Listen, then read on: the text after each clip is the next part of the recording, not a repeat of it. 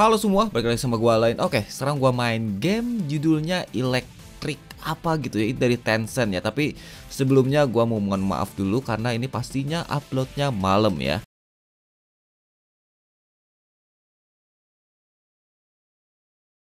Ada banyak banget urusan di hari ini. Wow banget itu. Tapi ya sekarang gua ini main game dan ini dari Tencent developernya. Terus juga ini kerjasama dengan Sega juga dan ya ini pastinya ini legal ya, bukan ilegal. Dan ini game uh, ini game action RPG. Kalau gue lihat dari tap-tap sih gambarnya dilihat dari pinggir dan ini kumpulan semua karakter-karakter yang ada di anime. Ada Kirito, uh, Asuna, terus juga ada kalian bisa lihat di sini. Ini karakter-karakter di anime semua ya. oh ini keren banget ya. Oh my god. Tapi ya ini loginnya bisa pakai WeChat, bisa pakai QQ dan sekarang gua pakai WeChat. Kayaknya sekarang kita langsung kasih nama aja ya. Lalat, cobain. Mereka lagi ngobrol ini. Dan voice actornya tentunya bahasa Jepang ini ya. Sudah ini karakter dari Oke, itu bukan ngasih nama ya, itu buat ngechat, itu buat ngechat di live chatnya itu, bukan nama ya. Dan sekarang ini dia, ini kita langsung ke dungeonnya kayaknya. Yes, kita langsung ke dungeonnya. Dan kayaknya kita langsung bertarung itu. Wah, ini live chatnya ada banget. Oh, kita awasin aja. Yap. Oke, berarti di sini si ngomong-ngomongnya ala-ala visual novel ya. Ini game visual novel kan tapi ada bertarung-bertarung ya gitu atau gimana ya? Oh, lihat ini. Itu dari ah gue lupa lagi ya. Seriusan kalau sekarang gue ini nonton anime itu benar-benar terbatas banget ya. Gue sekarang gue pakai dia. Dan kita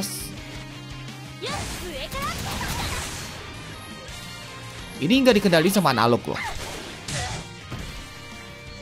Oh. Uh, kita cuma ngetap-tap si skillnya doang ini. Dan by the way, ini tap-tap tuh si ratingnya lumayan jelek. Cuma 5, berapa gitu ya.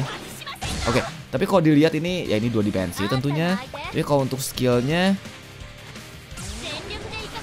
ini lumayan banget. Ini sesuai dengan animenya. Oke, bagus untuk uh, ukuran atau untuk game dua dimensi ya.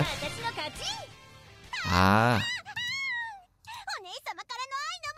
Beda-beda kah ceritanya? Sesuai dengan anime kah? Oke. Seriusan gue masih belum ke gambar ini game apaan ini seriusan. Kita cepetin aja.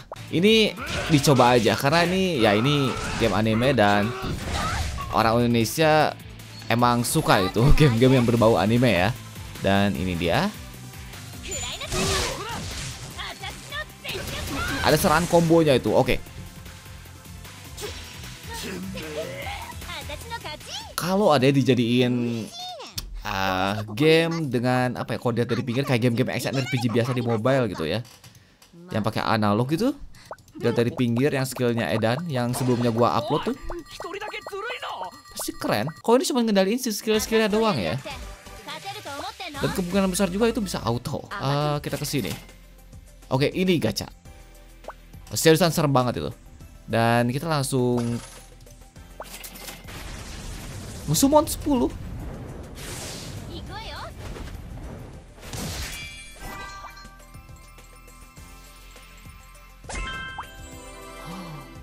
Liva, oke. Okay. Oh, ada nama-namanya. Oke, okay. biar inget ya. Dan kayaknya gue cuma dapet yang rankingnya tinggi. Mungkin Liva doang itu yang warna ungu si backgroundnya. Gue gak tau kenapa. Ini kenapa nggak bisa skill ultimate? Paling udah 10 ya. Ini nggak butuhin 8 kan? Atau yang nolnya gitu. Coba aja. Wow. Kayaknya beda energinya ya, seriusan beda ini energinya. Uh, eh, gue harus pakai yang ini. Ah, agak ribet ini cara uh, sistem si battlenya ya. Untuk nambahin energi yang biru ini, yang ngebutuhin skill yang ini nih, tiga, tiga ini nambahin yang biru-biru ya. Nah untuk skill ultimate kita harus ngebutuhin, kita harus pakai skill yang tiga-tiga ini jadi gimana ya? Oh agak ngebingungin juga ini ngejelasinnya, seriusan. Ya seperti ini. Yap, kalau kita nge-skill yang pakai poin biru ini bakal si poin kuning bakal nambahin itu. Unik. Oke. Okay. Gak sesimpel yang gue bayangkan.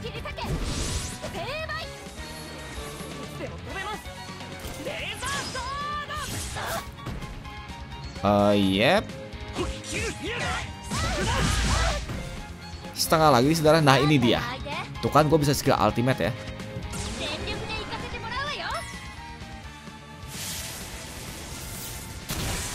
Wah. Satu lagi dan kita langsung skill aja. Oh ini dari anime itu ya? Yang overpower tuh si main karakternya. Tapi ya gue menang. Oh gue udah ngerti sekarang si sistem battlenya kayak gimana itu ya. Dan by the way sekarang gue lawan Kirito ini ya. Uh, Setelah ini gue mungkin mau skip langsung ke boss utamanya aja. Dan semoga itu udah level 9 Biar kita lihat ini autonya kayak gimana ya Kayaknya kalau ini auto bakal jauh lebih cepat daripada gue yang mainin ini ya oke. Okay. Oh, Kirito-nya overpowernya 1600 ya si darahnya.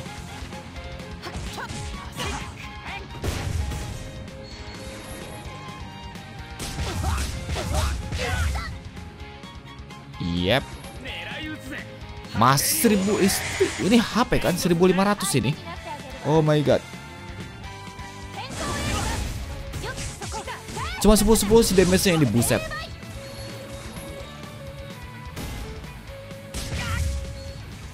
Masih ada Saitama ya Robot-robotnya udah pada mati tinggal Kirito-nya ini buwe Emang overpower Kirito ya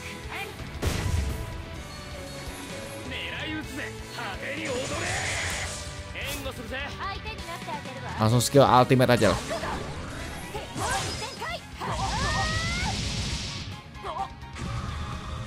Wah Skill ultimate lebih overpower itu oke okay. Kirito mokat Yes, gue menang. Oke, okay, dan di sini gue baru nyadar ya. Di sini tuh ada karakter yang khusus sub. Ada karakter utamanya di sini. Jadi beda-beda.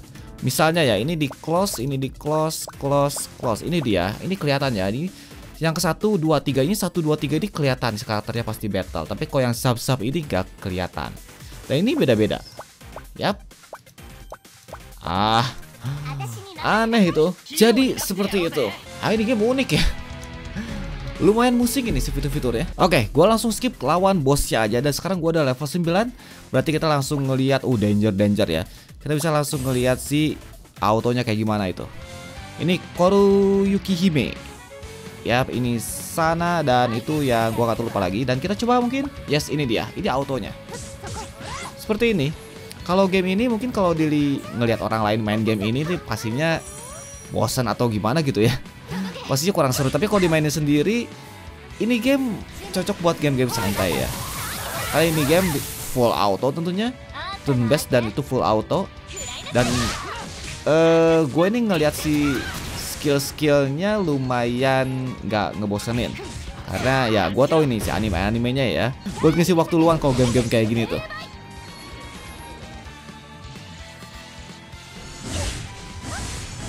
Yap, ini keren. Si efek skillnya gue suka ini. Walaupun efek skill yang kayak tadi yang robot-robot kecil tadi ya. Ini pemilihan skillnya gimana ini AI-nya?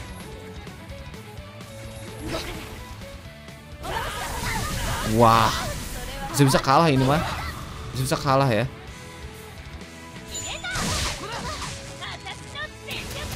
Udah mulai susah musuh-musuhnya ke sini-kesininya nih.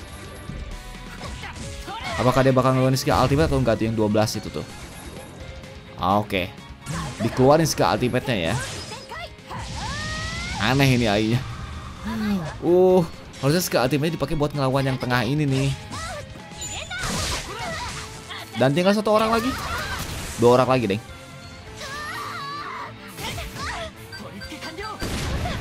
1300 dong.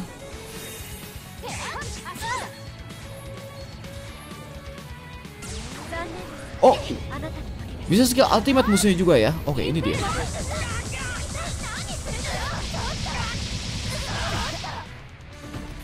Wah, itu keren banget skill ultimate-nya dan oke, ini dia.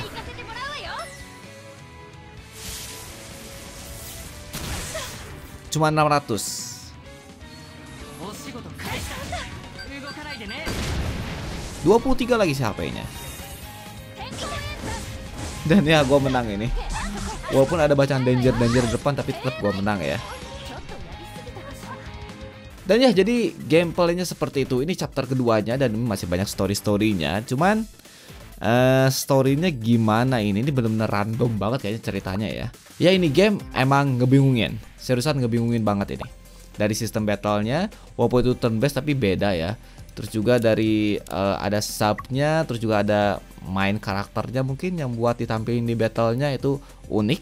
Terus juga si karakternya gue nggak tahu ini anime apa aja yang muncul di sini ya. Tapi ya ini yang Toaru Majutsu no Index Railgun terus juga ada ada Sword Art Online ada SL World dan Sakuga no Sana dan lain-lain ya ada Imoto apa ini kenapa ada mereka coba Susan kenapa ada mereka ini? Ini romcom kan romantis, romantis komedi kenapa ada di sini coba buset. Tapi ya jadi seperti itu gameplaynya. Menurut gua ada aneh sih turn biasa seriusan aneh itu ya. Tapi ya jika kalian suka dengan videonya silahkan like. Kalau kalian suka dengan channel ini silahkan subscribe. Jangan lupa untuk komentar. Terima kasih dan sampai jumpa. Bye bye.